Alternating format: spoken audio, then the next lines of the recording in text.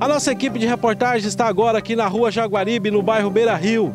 Viemos fazer uma reportagem sobre o trabalho da prefeitura que está fazendo aqui nos bairros, nas ruas e avenidas do nosso município.